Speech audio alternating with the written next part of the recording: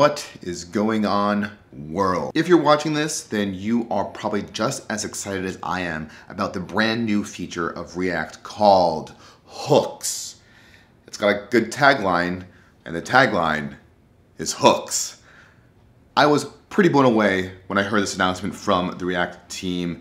I was not sure how to react originally. However, after reading about it more, getting to play with it a little bit more, I can definitely tell you that I am very, very, very excited about hooks. This video is your complete introduction to hooks. What are they?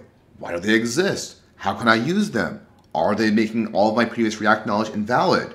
Spoiler, no. This video is going to be broken down into three quick sections. Before I even delve into anything, I want to have some disclaimers out of the way about hooks make sure that there is no FUD going around for hooks because when the developer community gets going and there's some misinformation that gets started, uh, uh, things get gross. First disclaimer, there is no breaking changes to React. This feature of hooks is completely additive in the sense that it is new, it's adding new functionality, and it is not changing any existing functionality. So everything that you know, love, and use with React is not changing at all. Two, uh, hooks is opt-in. You don't have to use hooks if you don't want to. This is up to you if you want to play with something new. If you actually see an immediate need for hooks, then you can start using it. But it means that your existing React applications can be unmodified, they don't have to change, and then you can uh, incrementally opt into using hooks. Number three is related to that in the sense that hooks is 100% backwards compatible. That means that you can use hooks with your existing applications and they can work in harmony, in sweet, sweet harmony together, and you don't have to worry about anything, any, any big migration that goes on. You can just add hooks uh, incrementally, just adding a little hook as you go, and then you can just have a whole application full of hooks. And then last but not least, it's available in the next uh, 6.x series of React, 16.7.0 alpha. It's not stable yet, but it will be, maybe by the time you watch this, it will be. I don't know, I can't tell the future, and if I could, I would not be making these videos, I would just be doing fortune telling. So why? Why were hooks added to React? When I explain React, I explain how there's four ways that you can actually make a React component. There's a plain old React component, there is a React Pure component, which means that it's optimized, don't have to re-render if the props and state don't change. There is a function component, which just is like a render function. And with the introduction of 16.6, there is now a pure or memoized function component as well. And there's one piece of this that's missing, uh, which is a stateful functional component. And that's where, uh, dear viewers, hooks come into play. This is actually adding a huge piece of missing functionality in React in the sense that you could not have state or any side effects in your function components. Whenever you want to take a function component and add state, you have to then refactor it into a class component. And that sucks. And also, class components are a little bit confusing to understand. I've been doing React for a while now, so I don't find them that confusing. But if you talk to somebody new to React, and you start talking about this dot state, how this dot set state, like what happens there. Uh, you have to learn these new, not yet finalized features of uh, JavaScript, such as class uh, instance fields to make bound functions to a class. There's all these gotchas with classes that with functions, they just go away. Something that they mentioned on the documentation page is that having just a function component means that there is the possibility that future optimizations by machines are possible. There's this library that a team at Facebook is working on called Prepack that's trying to do optimizations to your code and having there be just function components allows for these optimizations to be even better. There's no promises there by the React team. They don't want to overstep their boundaries, but uh, there's definitely uh, hint, hint, nudge, nudge that there is the potential for nice optimizations there in the future. And last but not least, something that I wasn't even aware about until I read the documentation page for hooks is that currently in a React class component, it's very hard to share stateful logic.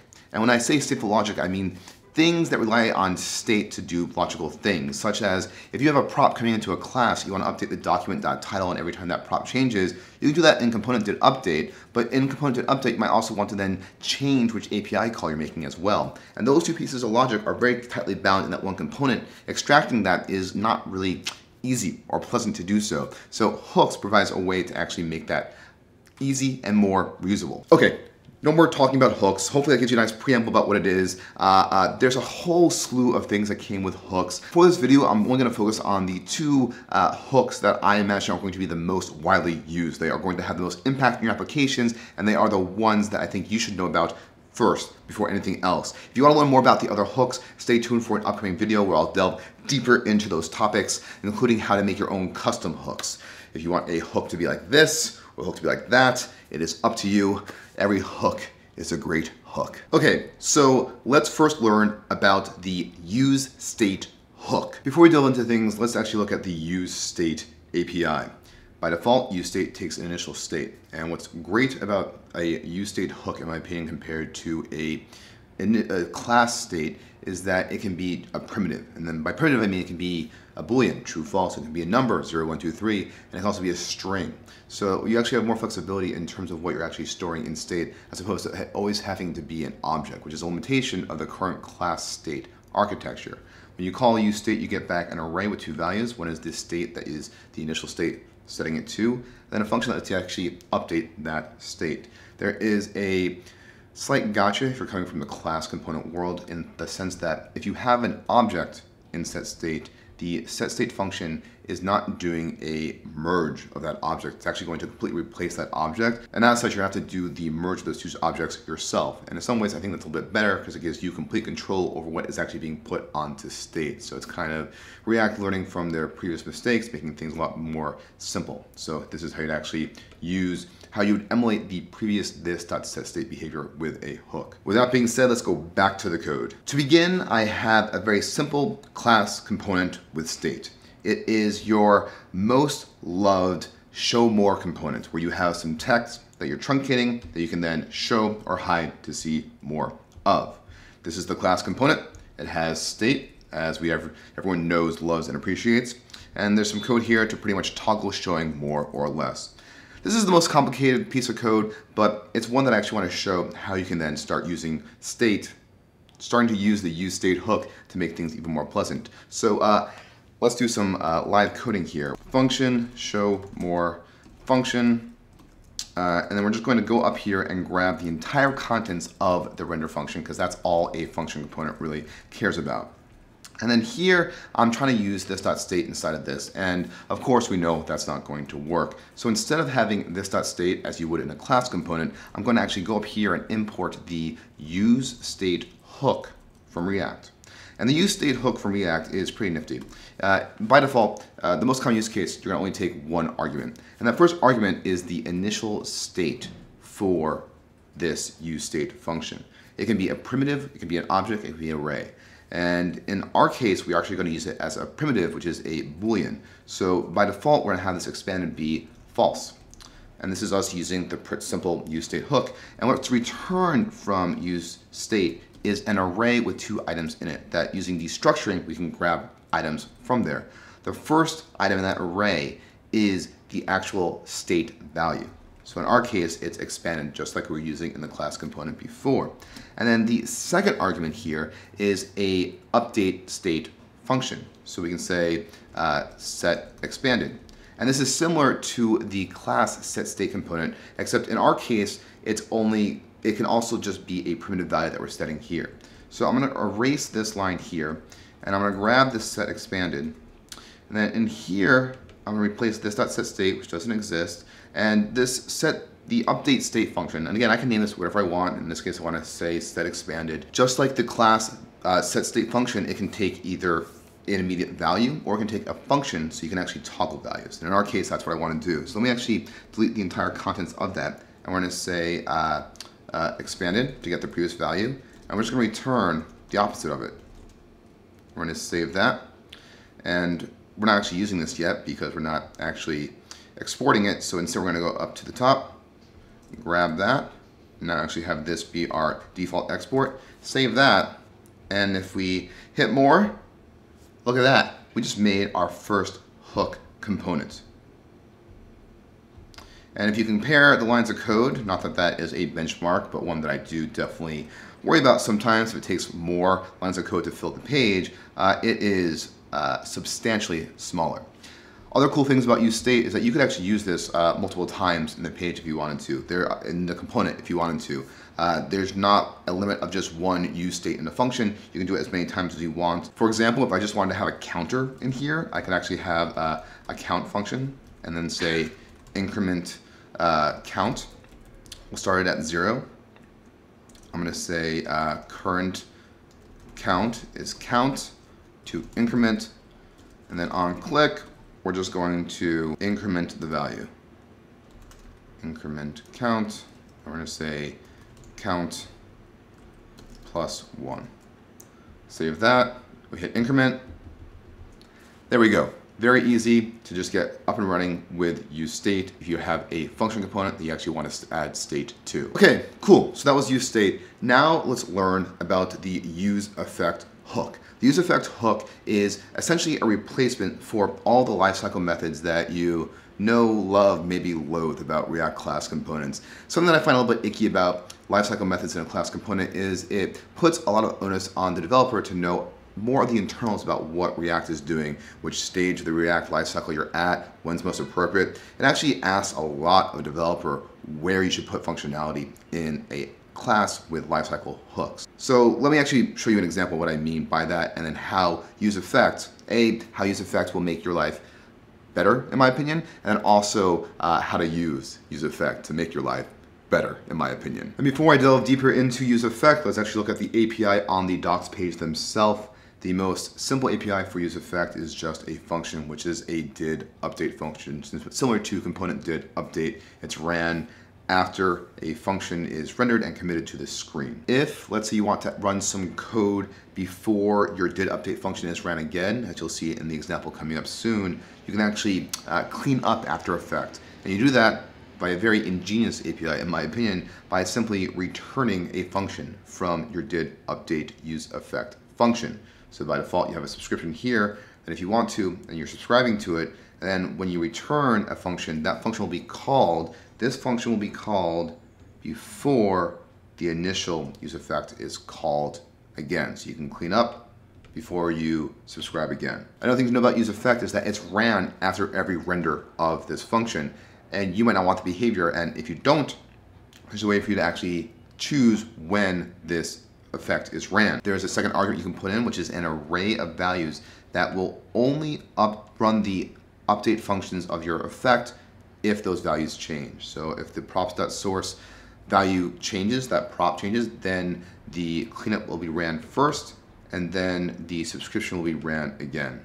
And that will hold true for the, life, for the lifetime of that component. With that being said, let's go back to the code. So what I've made here is a component to show how you might use lifecycle hooks in normal applications, where you have a component that is mounting and you're subscribing to an API call. In our case, this API call is just incrementing the value every second, so that's very easy. I have a button here to change which project you're on. So when you change project, that timer gets reset, as you can see. And to handle that functionality, I have a component did update function, just taking the previous props and comparing to the previous props project change from the last props project. If it did, then I have to unsubscribe, set state zero, then resubscribe. And of course, if it unmounts, then I have to unsubscribe and clean up after myself. So this is a lot of line of code to not do that much, in my opinion. And yeah, if you know React, it's not that complicated, but if you're learning React from the first time, that's a lot to ask of somebody. So let's see what that looks like with use effect. We're gonna go down here and make a use effect function. And then just like I did before in use state, I'm gonna copy and paste the entire render function contents. In our case, I'm gonna use props as well, so I can kind of just shim that right there.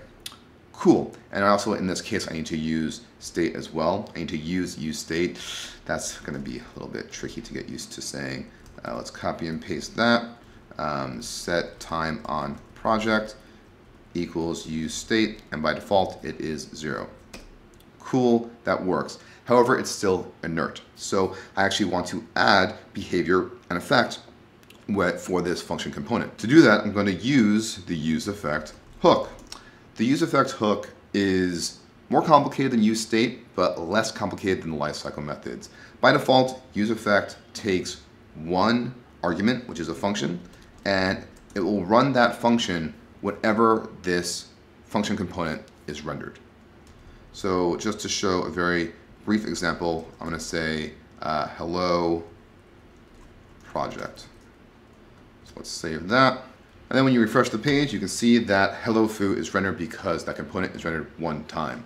That's not really impressive. That's not really why you're here. You want to actually learn more about the nitty gritties about UseEffect. So let's actually uh, go into actually implementing the full behavior of the existing component. So when use effect is first ran, we want to actually subscribe to our API.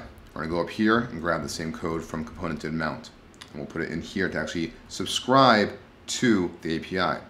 Then in a UseEffect function, you have the option to return a function that performs cleanup behavior when the function is re-rendered.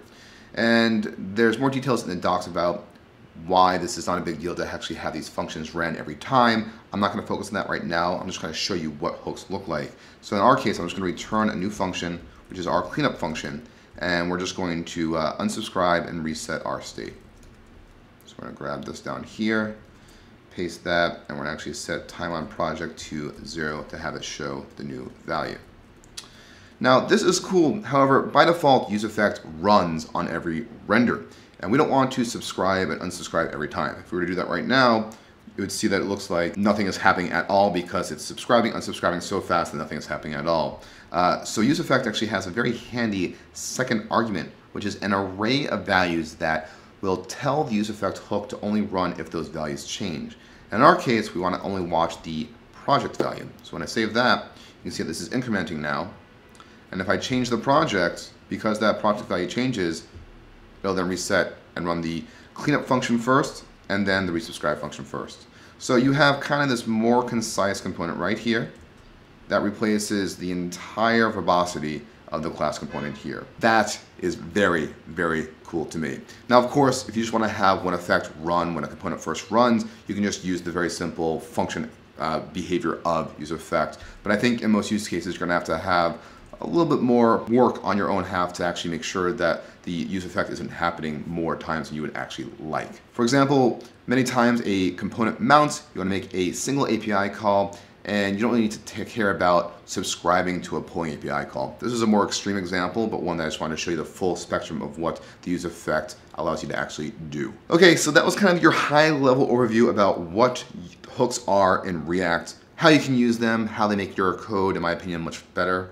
There is no fear of having it replace all your existing React knowledge. This is additive, it is new, it is exciting. You can incrementally adopt it in your applications as you go along. This was just an overview of the two of the basic hooks that the React docs describe, which is useState, useEffect.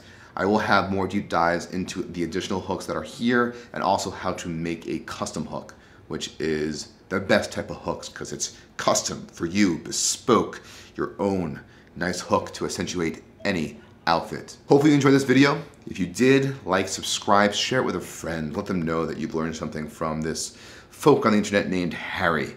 And if you are excited about this video, leave a comment down below. Let me know your thoughts, and I will happily reply and let you know my thoughts as well. Until then, I'll talk to you again in the next installation of this YouTube channel. Ciao.